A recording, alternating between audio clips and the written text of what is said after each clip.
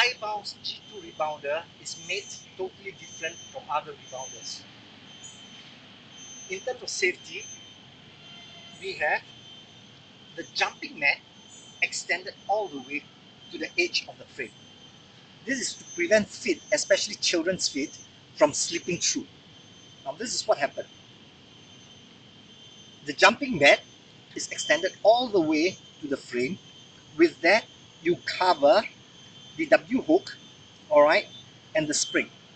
So it goes this way, and when we jump, alright, if our foot should go beyond the yellow circle, at least it still won't be hurt. And the other extra feature that only iBounce has is that the leg is supported by the rubber stud.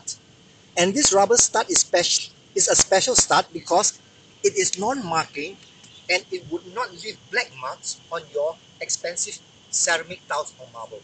And the other thing is that it keeps the rebounder stabilized.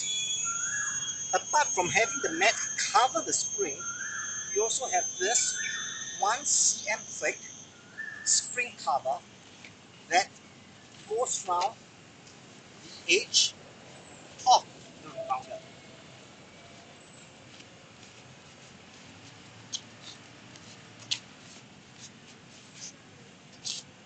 With a construction like this, you bounce on it,